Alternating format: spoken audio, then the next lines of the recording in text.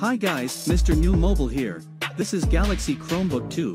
Please subscribe followed by the bell you can also keep up on Facebook, Twitter by clicking the links in the description. Samsung finally launched a Chromebook that was worthy of its Galaxy name. The original Samsung Galaxy Chromebook was an AMOLED-equipped beauty, making a Chromebook into a luxury product. However because of its luxury status, it was priced way too high to be worth a recommendation to anyone other than avid Galaxy fans. The Samsung Galaxy Chromebook 2 at CES 2021 however, bucks this trend by bringing everything that made the original great, but bringing the price down and battery power up by going with a QLED panel instead of a AMOLED, and limiting the processor to a Core i3, that sounds like Samsung has crippled its flagship processor in the name of attainability. But really these cuts make the Samsung Galaxy Chromebook 2 shine in its new price category, rather than how the first Samsung Galaxy Chromebook felt way out of its league last year. The Samsung Galaxy Chromebook 2 will start at $549, which is far less expensive than the original Samsung Galaxy Chromebook, which launched last year at $999, where the original Galaxy Chromebook was a hard sell at that price tag, especially when you took the very short battery life into consideration. This one is much more approachable, that starting price will net you a very Chromebook Y configuration of an Intel Celeron 5205U, four GB of RAM and 64 GB of eMMC storage, that doesn't seem like a lot, but remember that Chromebooks don't really need a Core i7 to get the job done, if you do want more horsepower, you can bump that price up to $699 to get a Samsung Galaxy Chromebook 2 with a 10th Gen Intel Core i3, 8GB of RAM and 128GB of storage. At $699 at the top end,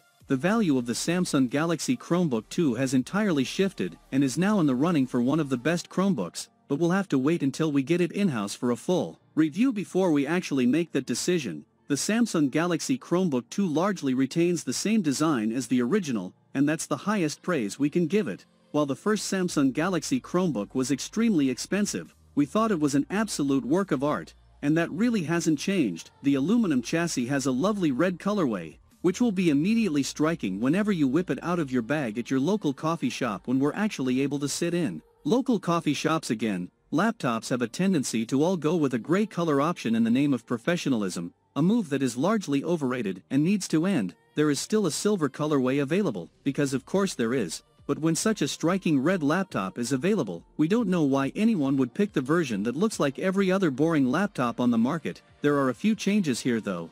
The biggest of these is the shift away from the 4K AMOLED display in the Samsung Galaxy Chromebook to a 13.3-inch FHD QLED panel, which we're told is inspired by Samsung's TVs. Sure, that's a much lower resolution than we got last year, but we're talking about a 13.3-inch display. At this screen size, 4K is totally unnecessary, and just serves to drain the battery faster in the name of a fancier spec sheet. The Galaxy Chromebook 2's display is still one of the best Chromebook displays we've ever seen, and while we don't have stats on how bright or color accurate the screen actually is, it's more than bright and colorful enough to consume all your favorite media on. The fact that such a lovely QLED panel is included in a Chromebook that is this affordable is a triumph for Samsung, and, at the end of the day, if you're looking for a laptop that has a display fit for content creation, you probably shouldn't be looking at a Chromebook, either way, the keyboard feels much the same as it did last year, which is to say it's extremely comfortable to type on. Spacing is on point and while the travel isn't too deep, bottoming out doesn't feel too terrible the Samsung Galaxy Chromebook 2 is still a 2-in-1, which means it'll still be able to flip into a tablet when you need it to,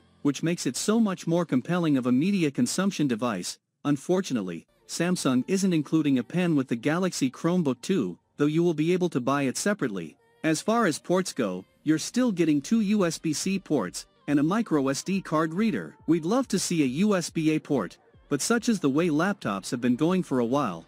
The Samsung Galaxy Chromebook 2 equipped with an Intel Core i3 processor, 8GB of RAM, and 128GB of storage. While we weren't able to run robust benchmarks on it such that benchmarks are even able to be run on a Chromebook it was more than responsive enough to get the job done however. That's not where Samsung is really claiming to have made huge improvements. With the Galaxy Chromebook 2, Samsung is claiming up to 14 hours of battery life on a single charge, which is a huge improvement over the original laptop. The Samsung Galaxy Chromebook only lasted 5 hours and 56 minutes. That is guys, if you are new here please subscribe, like the video, comment thanks for watching see you on my next video one peace out.